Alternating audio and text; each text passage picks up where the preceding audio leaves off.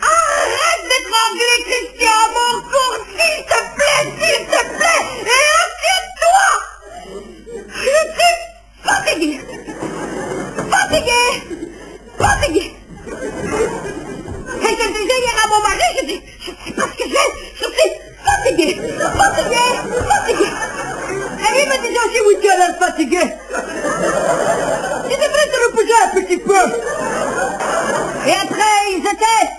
Fatigué Fatigué Fatigué Trois fois